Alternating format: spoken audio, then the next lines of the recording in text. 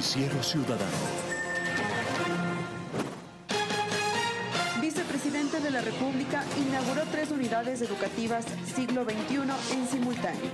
Se entregó el informe del proyecto de ley de desarrollo artesanal.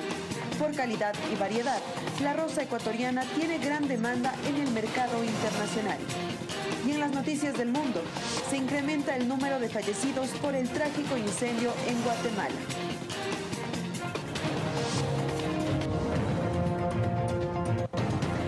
Amigos, muy buenas noches. Gracias por estar con nosotros en esta tercera entrega de noticias. Damos paso a la información. Tres unidades educativas siglo XXI fueron inauguradas por el vicepresidente de la República, Jorge Glass. Las infraestructuras acogerán entre 300 y 600 estudiantes por jornada. Los cantones Portoviejo, Santa Ana y Chone, en la provincia de Manabí, inauguraron de forma simultánea las unidades educativas especiales del siglo XXI Edwin Hernán Mendoza, 9 de octubre y Barquero respectivamente. Estas unidades educativas que reemplazan a los colegios destruidos en el terremoto del 16 de abril se construyeron con tecnología que brinda resistencia antisísmica. Tienen una vida útil de 25 años y son provisionales hasta que se edifiquen las unidades educativas del milenio. Las unidades educativas del siglo XXI ofrecen los mismos servicios que una unidad educativa del milenio, Cuentan con laboratorios, áreas lúdicas, biblioteca, entre otros. La estudiante Aisha Chávez dijo en nombre de la comunidad educativa que el terremoto solo quedó como un mal recuerdo y destacó la excelencia educativa que tiene el Ecuador. Yo sueño con un futuro grandioso.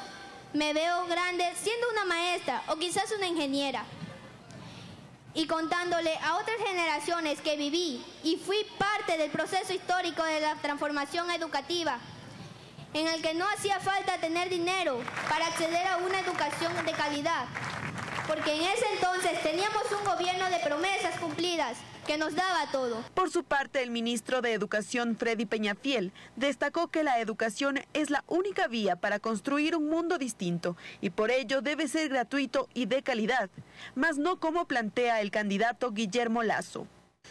Hoy día salió en un periódico nacional, en Diario El Comercio, dos visiones de política educativa.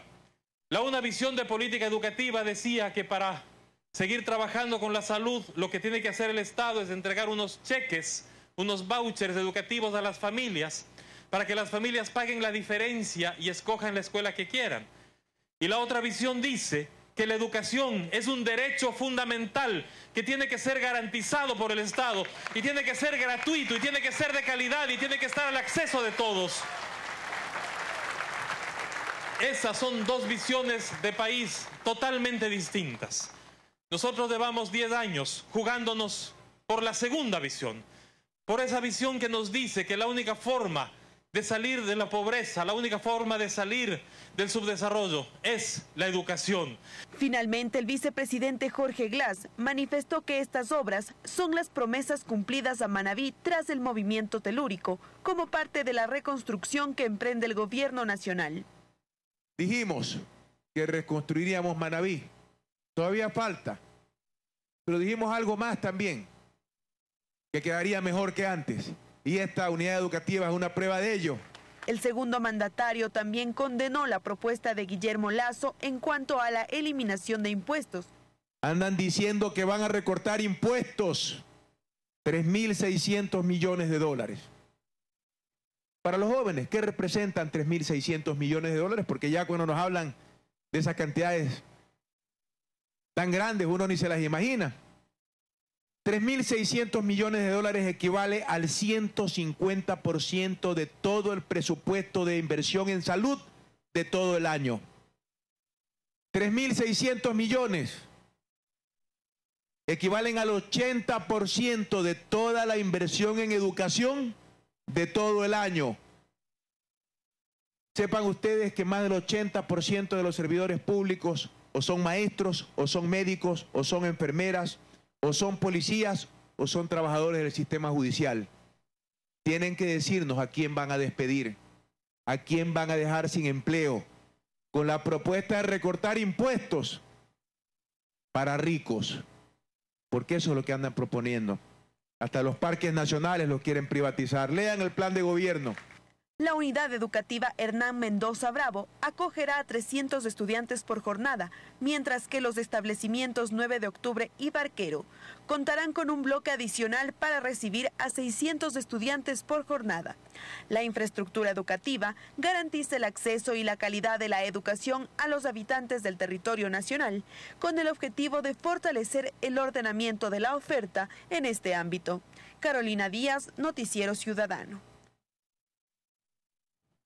y seis de los 24 albergues levantados para acoger a las personas damnificadas por el terremoto del 16 de abril han sido cerrados. Veamos los detalles en el siguiente reportaje. La mañana de este jueves 9 de marzo, los albergues Esteros 2 en Manta y el ex aeropuerto Reales Tamarindos en la ciudad de Puerto Viejo fueron cerrados como parte del proceso de reasentamiento luego del terremoto del pasado 16 de abril que afectó a cientos de familias de las provincias de Manabí y Esmeraldas. Estoy agradecida más que todo, que voy, voy a una casa nueva y mía, pero también a la vez nostálgica eh, con una pena que nos vamos a separar porque esto sí es una familia por largo de un año, mucha pena. Según información de la vicepresidencia de la República, hasta el momento, seis de los 24 albergues han sido cerrados, permitiendo que cientos de familias sean reubicadas en casas construidas en los nuevos reasentamientos por parte del gobierno nacional. Yo nunca he tenido mi casa, he pasado siempre alquilando, arrendando, trabajando para poder pagar un arriendo y a raíz de todo que ha pasado la, el terremoto, gracias a eso me da la oportunidad de que voy a tener mi casa. El Ministerio de Inclusión Económica y Social, MIES, señaló que se entregaron bonos de acogida, alquiler y alimentación a 50.875 personas en Manabí. La cartera de Estado indica que actualmente se encuentran en funcionamiento 18 albergues en Manabí y Esmeraldas, donde permanecen 4.104 personas.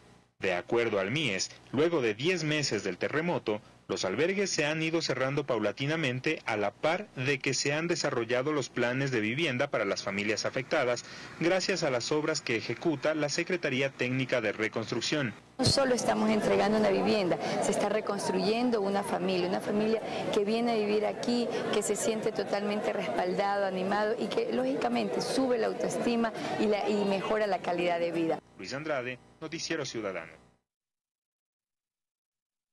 El vicepresidente de la República, Jorge Glass, entregó un crédito para la construcción de viviendas en el Fortín, en Guayaquil. Esta obra alcanza una inversión de más de 6 millones de dólares. Con un crédito por 6,4 millones de dólares, la Corporación Financiera Nacional CFN construirá 306 viviendas en la urbanización Residencias del Fortín, en Guayaquil.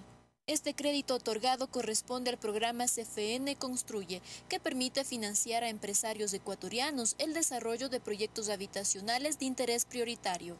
En total, con esta línea de crédito se financia la edificación de 7.124 viviendas en 14 ciudades del país, lo cual ha generado alrededor de 5.000 empleos directos y 12.300 indirectos.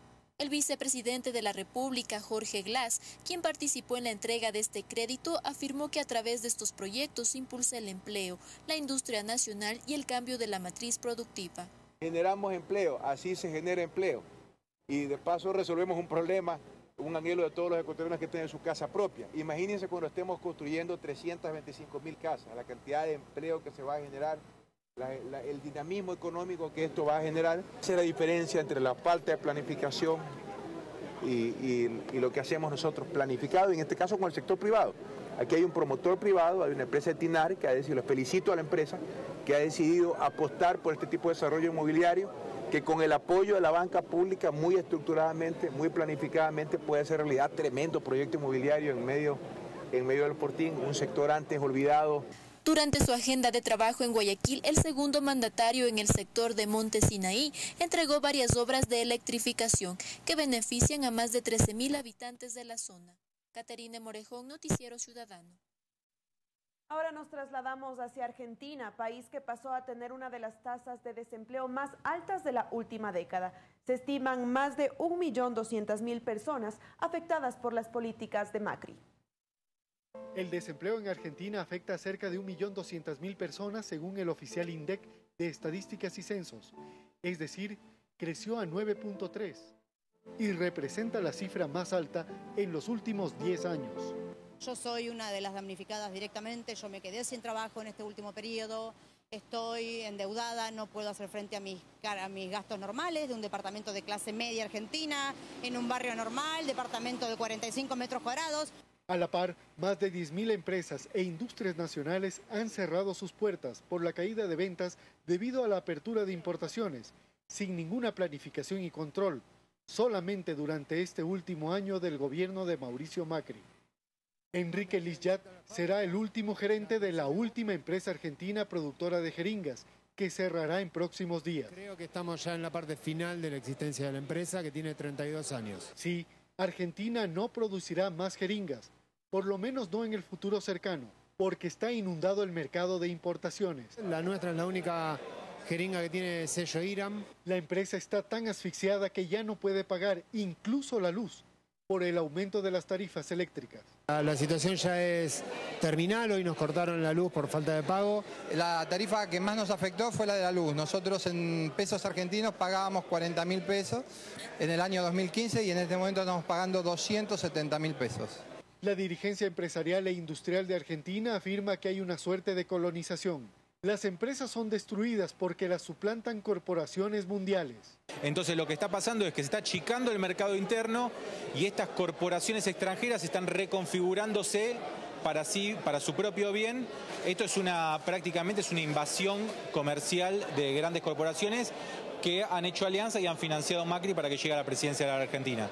Los trabajadores advierten que a más de la desocupación se suma que no hay nuevas fuentes de empleo ofrecidas por Macri en campaña con la llegada de nuevas inversiones que hasta la fecha no existen.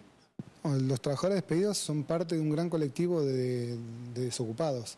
Eh, el sector privado está despidiendo. Por lo pronto, la indignación crece, pues mientras a los maestros no se les suben los sueldos, como esperan, el gobierno les ofrece una respuesta, la cual es mejoras salariales sí, pero para las Fuerzas Armadas. Y este es el segundo aumento en menos de seis meses para la alta cúpula militar. Es tiempo de hacer una primera pausa. Al regresar le contaremos sobre la gran demanda que tienen las rosas ecuatorianas a nivel mundial.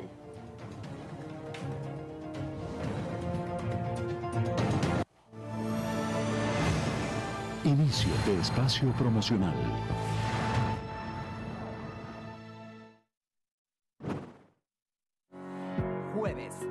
marzo, 20 horas.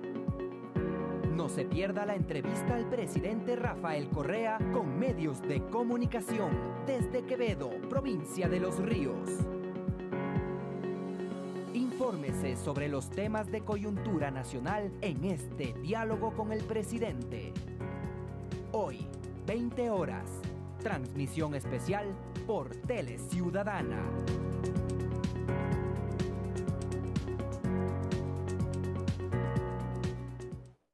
Ahora, escúchanos en FM. Quito. 106.9. Cuenca. 93.7. Manta y Portoviejo. 100.1. Loja. 106.5. Una sola señal, cubriendo todo el Ecuador. Bienvenidos a Ciudadana FM. Fin de espacio promocional.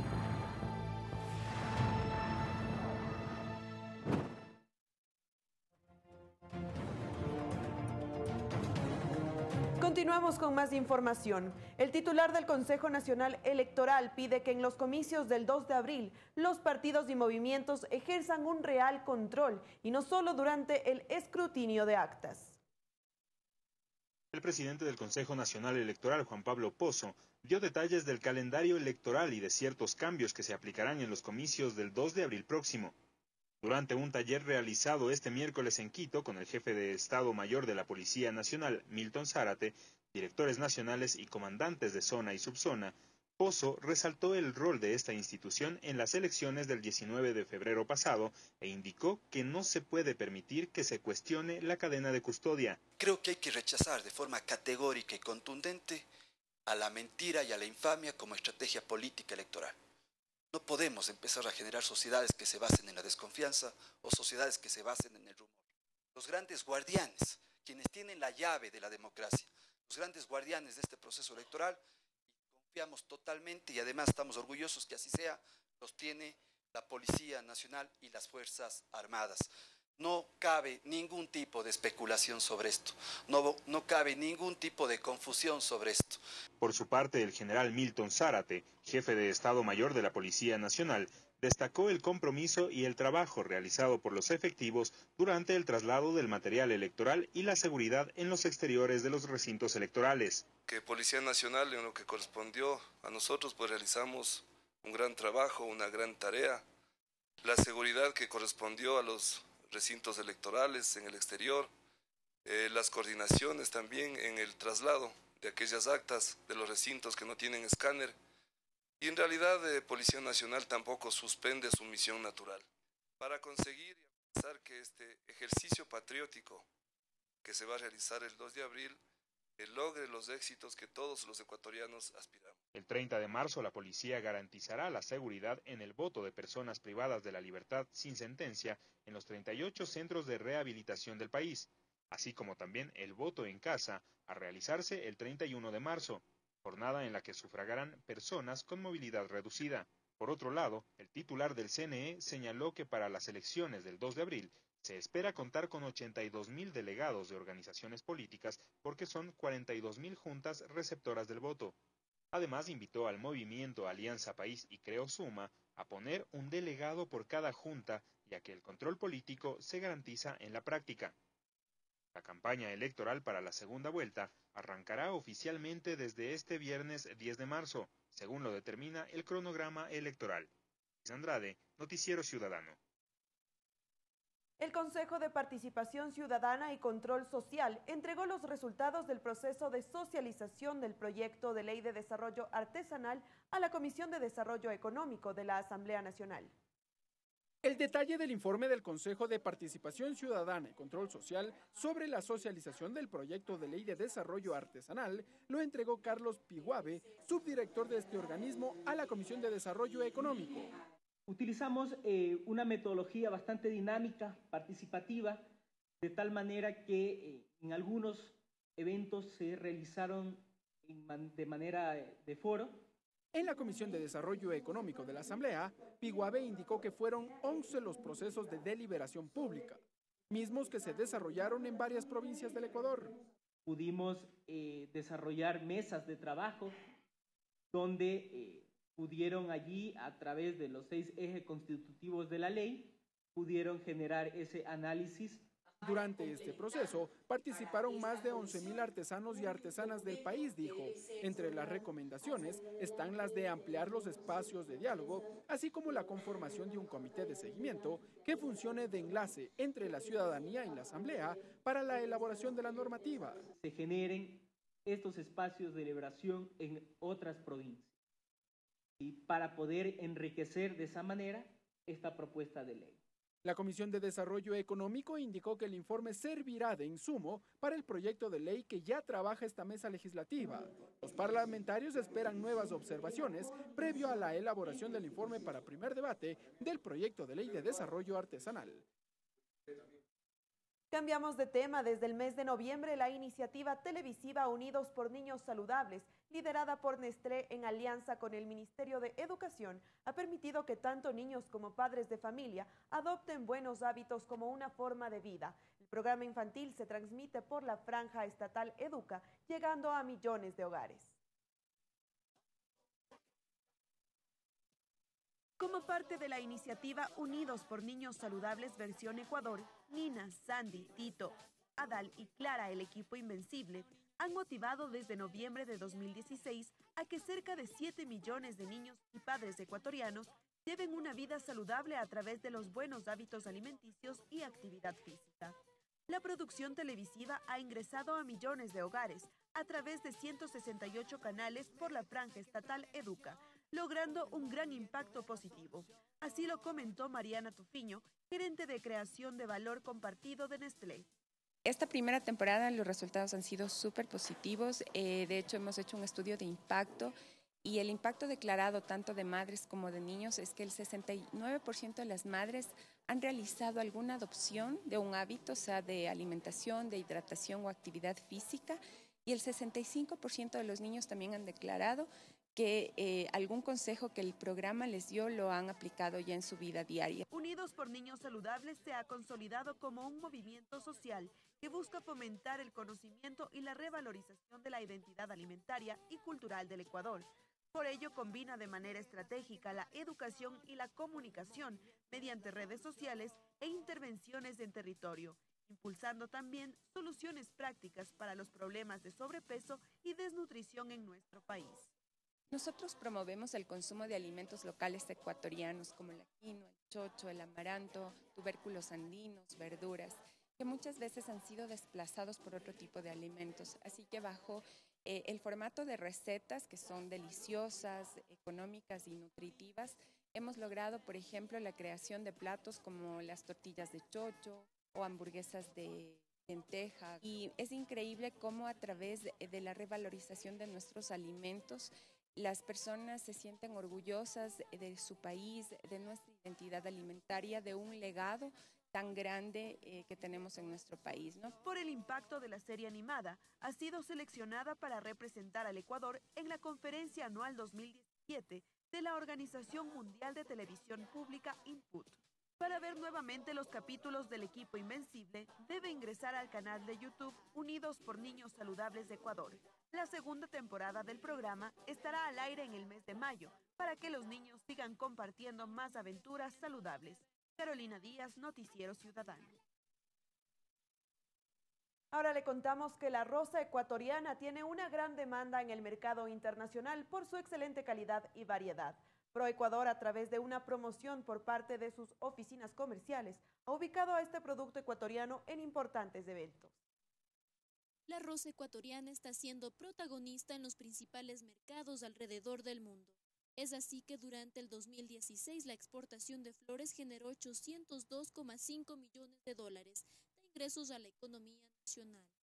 Estas cifras positivas no solo se deben a la calidad y variedad de este producto ecuatoriano, sino a la promoción que ha existido a nivel internacional por parte del gobierno nacional, a través de ProEcuador y sus oficinas comerciales en todo el mundo. Exportaciones de Ecuador a Rusia han crecido un 7.5 en lo que va del año. Ecuador es el líder en el mercado ruso y sigue siendo el primer exportador de flores, de rosas, acá al mercado ruso eh, hemos desplazado a Holanda, que sea privilegiada por sobre todas las otras rosas que este país puede llegar a importar. Un ejemplo de aquello es la entrega de más de 6.000 rosas ecuatorianas por parte de una aerolínea china en conmemoración del Día de la Mujer, así como también en días pasados, donde las rosas engalanaron el estreno mundial de la película La Bella y la Bestia. Según datos oficiales, Ecuador se sitúa en el primer lugar como exportador de flores a China, representando más del 65% del mercado de rosas importadas hacia este destino. A esto se suma la generación de empleo por parte de la industria florícola, la cual es mayoritariamente femenina, alcanzando el 51%. De acuerdo al Banco Central del Ecuador, las flores ecuatorianas han incrementado sus exportaciones en un 84,3%, en comparación al año anterior, cifra que valida la calidad de los productos ecuatorianos. Caterina Morejón, Noticiero Ciudadano. Así concluimos este segundo bloque informativo. Regresamos en un momento con el resumen de las noticias del mundo.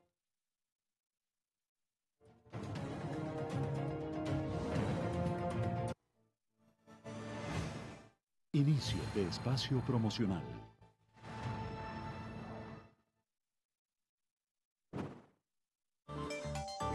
¿Quién es Jorge Glass? ¿Cómo vive y cómo es su familia? Véalo hoy en una reveladora entrevista para conocer en profundidad al vicepresidente de la República, Jorge Glass. Esta noche, 21 horas por Teleciudadana.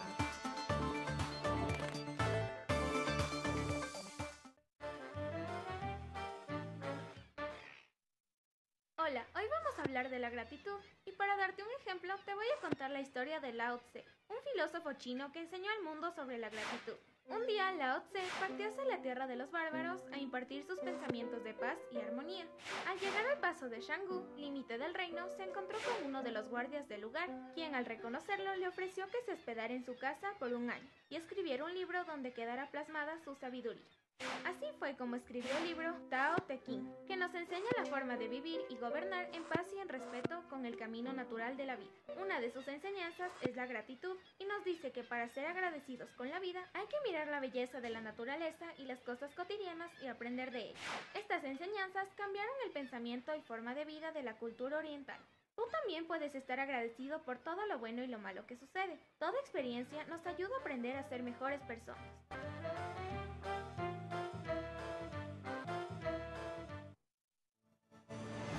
Fin de espacio promocional.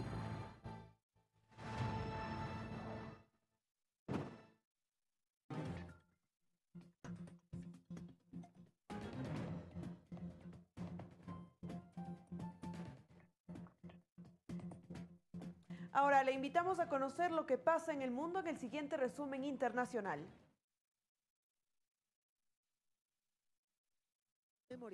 Muñecas y Carbón frente a la Casa Presidencial en Guatemala exige una investigación sobre el incendio en el Hogar Seguro Virgen de la Asunción, que el jueves ya sumaba 31 víctimas, todas mujeres adolescentes. El centro acogía a menores de 18 años víctimas de violencia y era administrado por la Secretaría de Bienestar Social de la Presidencia. Registraba una sobrepoblación del doble de su capacidad y era investigado por denuncias de abusos sexuales. Justicia, pido que hagan justicia, que metan presos a esos infelices de ahí porque ellos fueron los que la mataron, ellos fueron. Ellos les cerraron la puerta y los dejaron adentro y de ver todos los magales ellos se ahogaron adentro y se quemaron. La Procuraduría de Derechos Humanos de la Infancia solicitó una investigación administrativa y penal contra los responsables del hogar, mientras que la presidencia destituyó al director del refugio. Aún quedan internadas 27 niñas, de las cuales 14 se encuentran en estado crítico según fuentes hospitalarias. Hay factores como el grado de quemaduras en su cuerpo y en sus vías respiratorias hace que la mortalidad sea pues arriba del 80% de esos pacientes. Algunos sobrevivientes fueron reubicados en centros públicos y privados, mientras que otros volvieron con sus familiares temporalmente. Hawái se convirtió el jueves en el primer estado norteamericano en presentar un recurso contra el nuevo decreto migratorio de Donald Trump. Presentó una demanda de suspensión provisoria tras el nuevo decreto del presidente de Estados Unidos que prohíbe los ingresos provenientes de seis países de mayoría musulmana. Según el fiscal general de Hawái, Dow Chin, aunque el nuevo decreto fue modificado para enfrentar las demandas presentadas por varios tribunales que bloquearon la primera normativa, el nuevo es bastante parecido. El flamante decreto firmado el lunes por Trump suspende la admisión de refugiados por 120 días y la entrega de visas para los viajeros de Siria, Irán, Libia, Somalia, Yemen y Sudán. Exceptúa explícitamente a los iraquíes que estaban incluidos en el primer decreto, a los residentes legales permanentes y a quienes ya tengan una visa. Alemania preocupada por el riesgo de una nueva carrera armamentística entre Rusia y Estados Unidos. Así lo ha expresado el ministro de Exteriores germano Sigmar Gabriel tras reunirse en Moscú con su colega ruso Sergei Lavrov. Gabriel ha destacado asimismo la responsabilidad de Alemania y Rusia en la conservación de la estabilidad, la seguridad y la paz en Europa. Meine Sorge ist, dass wir angesichts mancher Debatten auf beiden Seiten Me preocupa que a medida que nos enfrentamos al debate sobre el grueso de las Fuerzas Armadas rusas y el aumento de las capacidades militares de Estados Unidos, nos enfrentemos a una nueva espiral armamentística. Daten über exorbitante Steigerung von Rüstungsetats, dass wir wieder vor der Gefahr sind einer neuen Aufrüstungsspirale. La situación en Ucrania ha sido otro de los temas tratados. Lavrov ha negado la presencia de tropas rusas en la zona de conflicto y ha afirmado que hay que acelerar la elaboración de una hoja de ruta para el cumplimiento de los acuerdos de Minsk.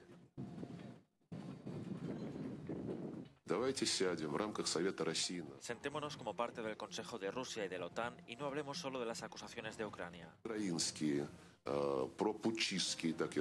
Empecemos a trabajar para examinar la situación de la seguridad euroatlántica, añadido.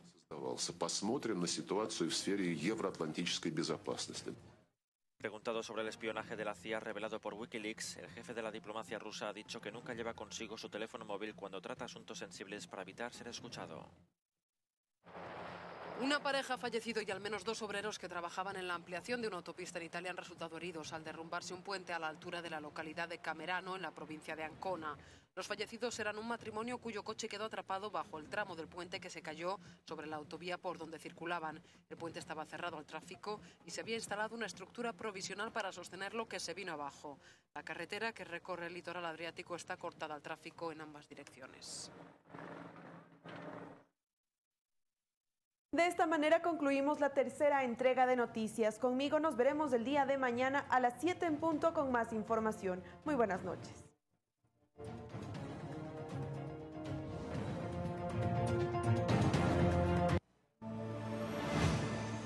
El siguiente programa es clasificado.